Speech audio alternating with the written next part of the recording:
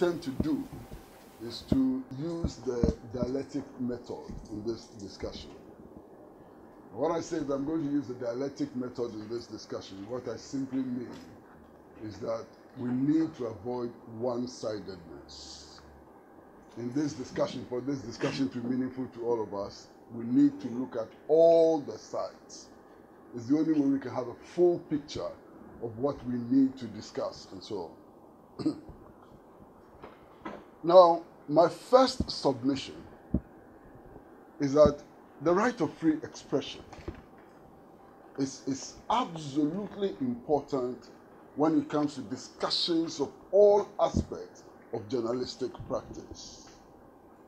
Because if you do not believe in free expression, then when people express themselves freely, you will beat them up, you will lock them up, you will poison them, you will kill them, and so on. So it is fundamental, the right of free expression. I want to submit that as journalists, sometimes we tend to be just too harsh on ourselves, unnecessarily too harsh on ourselves. There have been many occasions when I've listened to journalists speak, especially when they speak about the responsibility of the press and so on. And I wonder whether they are talking about Ghana. In this very room, some of the best in our profession who could have practiced anywhere in the world as excellent journalists are here in this very room. I mean, there is Razak El Alawa, three times best journalist of the year, and who still continues to write in the Daily Graphic and so on. Never in his practice have I heard anybody allege irresponsibility on his part or publishing falsehood or whatever. Never throughout his, his profession. We should clap for that. And then in this very room is my classmate who actually started to practicing his journalism long before he graduated from the Ghana Institute of Journalism in 1974. Who has edited newspapers and magazines here and outside, practiced in London and so on. I'm talking about Ebo Quansah, who sits here, one of the best, and has the quality, world class quality, and so on. And then there are those who are not here, like Cabral Amihere. Excellent journalists by all standards. And, and many more. Uh, there's this friend of mine, Francis Kokutse, who writes for international journals. There's Cameron Duodu and so on. So why are we so harsh on ourselves? Why do we create the impression that when it comes to the Ghanaian media, we're a bunch of irresponsible people, not interested in telling the truth and so on? There's a problem with our own perception of ourselves. We are not that bad. And it's important to make that point all the time. And indeed, those who, who challenged those beliefs were killed. It was so bad that they had death sentences for challenging those beliefs that today we know are not, are not the truth. And so, so, what is the truth? And, and we can go on and on and on about many more things. I mean, until recently, scientists were united in their belief that we as human beings are products of some evolution and so on. That the whole world is, is, is a product of evolution, the theory of evolution. Now, scientists know that the theory of evolution is false. And that, it has been replaced by the theory of the Big Bang, that spark of energy which started the universe and other universes and so. So at the time that we were being taught the theory of evolution, was it a lie? Today, the theory of the Big Bang, is it a lie? And so. So these are some of the things that we need to constantly examine so that we are not too harsh on ourselves so on. Now, when it comes to issues of safety, and I'm coming home to, to the topic that I'm supposed to address, what are we talking about? I think we are talking about safety from physical attack. That's one physical attack, safety from physical attack. Somebody coming with a crowbar and knocking you on the head. Somebody shooting you, somebody beating you up. somebody restraining you so you do not have access to places and so on. Physical, physical safety. That is part of the discussion. There's another part of the discussion that we don't do very much. And that happens to be psychological violence. The kinds of things that are done to journalists because of what they believe, because of what they stand up for, because of what they write. And psychological violence can oftentimes result in physical disability. I'm not a medical practitioner, but I've experiences to share about myself. I used to have low blood pressure, very low blood pressure. To the extent that some of my doctors thought that there was a problem, others thought that it was normal and so on. By the time I had gone through two to three years of fighting the allegation that somebody had paid me $125,000, I become hypertensive. and I now have to take drugs on a daily basis in order to stay healthy. Is that, is that struggle part of my health condition today? There are many journalists who are having problems with their liver, with their heartbeats, and so on. How much of, of the pressure that is put on them as a result of their commitment to their profession results in these health conditions? So, when we are talking about safety, I think we need also to think about the psychological pressures, the psychological attacks on journalists, and so on. They are also so very important. And then there are many others, but I like to come home because we don't have enough time to look at some of these issues and, and, and, and so. You see, we work in, in some environments. Some of us work in offices, we work in editorial rooms, and so on. Those places need to be secured. In fact, if you go to newspaper offices in some advanced countries and so on, you cannot just walk in and see a journalist. There are security systems that you must go through electronic security, physical security. Some journalists have bodyguards and so on.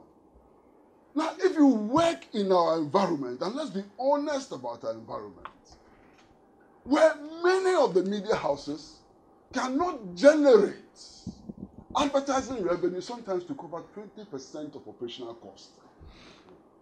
How do you provide that level of security? Because that level of security is very expensive. So the provision of security itself is, is directly related to our capacity to earn. And our capacity to earn is also directly related to the state of the national economy. When inflation is flying into the skies, when the relationship between the cedi and the dollar goes haywire and so on, when businesses cannot survive, they don't advertise. And when they don't advertise, we in the media do not make money to take care of our security. And I think we need to understand these relationships. You understand? Part of the problem also has to do with us. Part of the problem has to do with us. We are not just journalists. And this is the most unfortunate part when it comes to professional practice in Ghana. I am CPP, he is NDC, he is NPP, and he is PPP, and so on. So rather than come together to protect our professional space, we are fighting to protect spaces outside our profession. You understand? So we are not behaving like doctors, we are not behaving like lawyers and so on. In our profession, we are so divided that we cannot come together to protect ourselves as journalists. So, if he's perceived to be an NDC journalist, then we must undermine him and undermine what he's doing. We must wage psychological warfare on him and destroy him, and so on. So, the need for unity amongst ourselves as professionals to protect our professional space to make sure that we build institutions and structures for protecting our safety and so on is important. And you see, my brother have made some passing remark.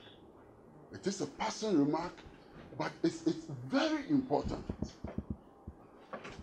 When I leave my house at Musuku and come here to join discussions like this, I come solely as a journalist. I leave my religious beliefs in my church and my house. So when we come here and we impose religion on ourselves and so on, first of all, we abuse the secular character of the Ghana Journalists Association. We impose pressures on ourselves and we draw the lines of division amongst ourselves. An atheist should be able to become the president of the Ghana Journalists Association in the same way that a Muslim can become president of the Ghana Journalists Association, and in the same way that a traditionalist can become president of the Ghana Journalists Association. So please take religion and all those things that divide us out of our association. It's important that you take those things out. Because if you take those things out, you help us to come together to build a solid platform of journalists committed to free expression and to fight together to defend ourselves. Our unity is important in providing for our safety. You understand? It's very, very important for us to understand this very, very clearly. Now, our safety in, at the individual level is also related to what comes into our pocket and what leaves our pocket and so on. And that is why I think that the presentation which was made today by our sister from the trade union movement is most important. But you see, unfortunately, and it is not her fault, she doesn't know our profession and can never know the profession like us. There are people in this profession who earn more than ministers. They earn far more than ministers and chief executives of other institutions and so on. It's a fact. Indeed, today, journalism has become like international football. Journalism has become like international football. I know of a case of a friend of mine who was being signed on as a morning show presenter for a new radio station. Amongst the conditions that were demanded and fulfilled included a brand new Mercedes 300. Brand new Mercedes 300. That's more than $100,000. C350, well, he's confirming C350 Mercedes. Plus other conditions, and some of the conditions are mind boggling. I'm sure that none of those conditions were reflected in the survey done by the trade union movement. Otherwise, the averages would have changed. You understand? but it's important. I know of, of, of, of ordinary presenters who work for two hours a day and they earn far, far more than some of the most senior public servants in our society and so on. you understand? Indeed, I was in the same classroom with the Bokwansa. And Ebo Quansah will recall that one of the greatest teachers of journalism for all time in Ghana, Sam Atta, Yeah. used to remind us constantly as journalists that what you become in the profession does not depend on your certificate and does not depend on all those things that happen in other professions. It depends largely on your relevance to society. And throughout my practice, I've come to appreciate that. Throughout my practice. Now, look, in our profession, and I, I want us to be open. I want to give you the benefit of what I've been through. It may not be the best, but I've been through a lot. I did my first radio program in 1969. 1969 was the first time I did a radio program. So, so we can go on and on and on. But I just wanted to give you some benefit. Look, me, the day I decide to take salary from the newspaper that I founded, ran, and edit, that is the day the newspaper will collapse. Because that newspaper cannot pay me. It is impossible. You cannot pay me. And I'm founder, owner, and editor of that newspaper. So there are many people here. I saw Kente Man somewhere. Uh, he's there. He's, he's done it before. He will tell you his experience. I can see McKay here. He will tell you his experience. What has become known as Daily Guide? Do you know the history how it started? It started as a fighting machine. It did not start as a business. It started because there was an opening in the struggle for democracy. They thought they had a contribution to make. So when Kweku Bakum, Freddie Blay, and others came together to found Daily Guide, they were not counting pennies and cedis. They were counting the liberty of the Ghanaian people and so on. If anybody counted pennies and cedis, the Daily Guide would not have been established. And we have to bear that in mind. Now, listen, I'll tell you something. I mean, in this discussion, we've gone into some strange description of workers. People who work for no pay are not workers. They must be either slaves, volunteers, or something else. So the definitions are very, very important. I mean, today, this morning, I had a conversation with the chairman of this morning's function and uh, Ebo Quansah, I think, yeah, I think you were also there upstairs before we came down. And one of the things that we're talking about is the fact that you have the Ghana Institute of Journalism here with more than 4,000 students. And the number keeps increasing, and that's only one institution. This year, more than 1,000 people are going to come out of this institution. Where are they going? Who is going to be able to pay them? And is it better that they roam the streets? Or is it better that they go under some apprenticeship and so on, which can eventually make them, turn them into Razak El Alawa and so on? These are important questions for us to ask. And when I started doing my internship at Graphic and so on, there were people in Graphic who were not being paid at all. Razak, tell me. People worked in Graphic for four, five years before they got onto the payroll, and they worked as volunteers. They are not workers, they were volunteers. Based on the experiences they gathered and so some of them rose to become editors of graphics. Some of them went out and became giants in the media practice. Is it something we want to kill today? I am not so sure that we want to kill this practice today. Look, me, I happen to be editor of a newspaper. I am director of a television station and so on, and you know the rest and so on. I mean, there are many occasions where people come to you and they say, Look, I've been to journalism school. I mean, there's a lady who came to us who has a master's degree. And I said, Madam, we don't need you here. There's no space for you here. Because we can produce the news without you. We can do all the presentations without you. Master's degree. How am I going to find money to pay somebody with a master's degree? For goodness sake. And the lady says, I didn't come here for pay. I want an opportunity to learn. So I said, okay, if that is the case, come on board.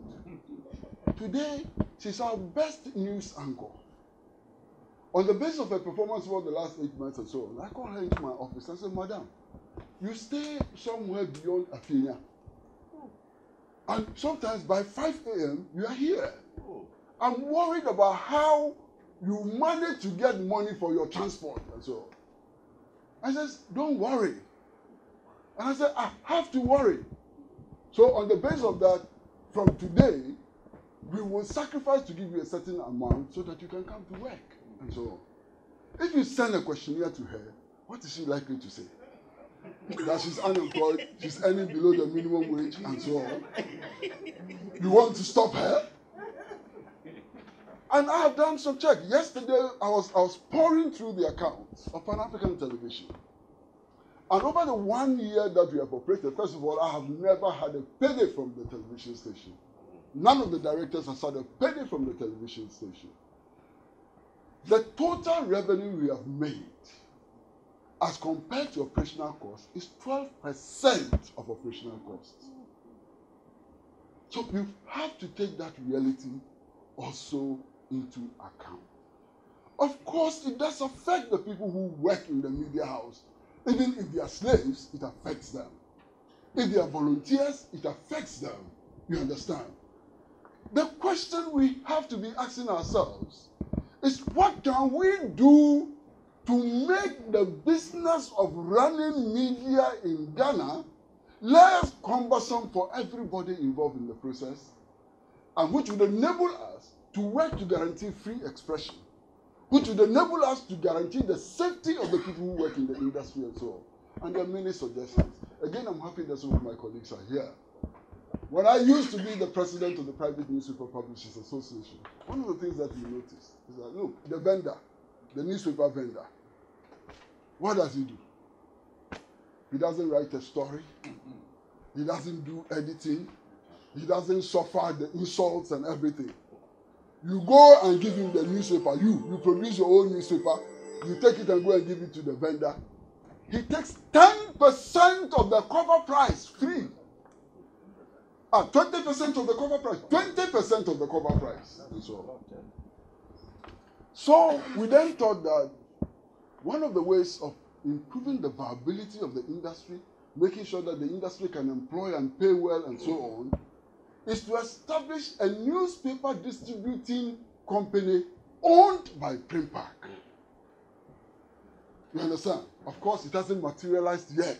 But these are some of the options open to us as Journalists Association, as PRINPAG, and so on, as Independent Broadcasters Association, and so on.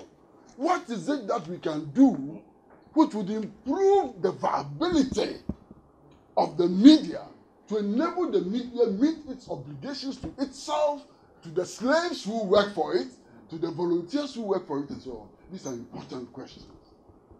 Now, you see, in my sister's presentation, she makes the point that conditions are better for people working in the state-owned media. You need to go the step, one more step forward to ask why that is so. That is so because if I work in the Ghana News Agency and I worked in the Ghana News Agency as a senior reporter and later chief reporter for some time, whether your story is read or not, huh? whether you write good stories or bad stories, at the end of the month, Ken Ofori-Atta is going to find money to pay your salary and all your entitlements. It doesn't happen like that in the Chronicle.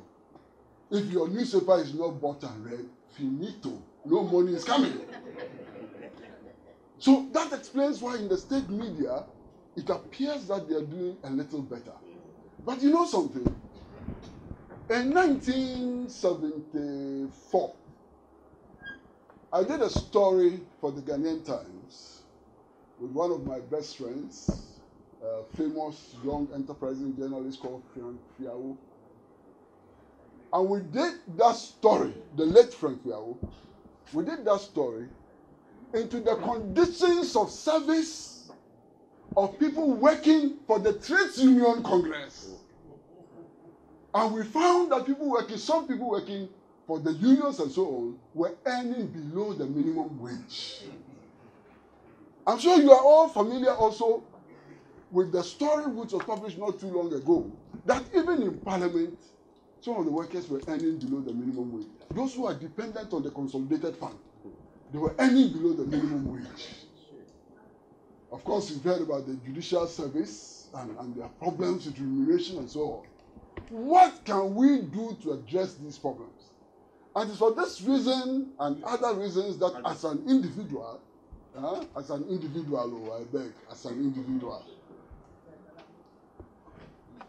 I was wondering, really wondering, about the unionization of the Ghana Journalists Association. I was wondering, and I asked myself several questions. It is not because I'm opposed to unions. We do know that the Industrial and Commercial Workers Union operates in many of the media houses. The Public Services Workers Union, for example, is active in Broadcasting House and so on. Those are trade unions. The Journalists Association, was it intended to be a trade union? This transformation, what does it mean?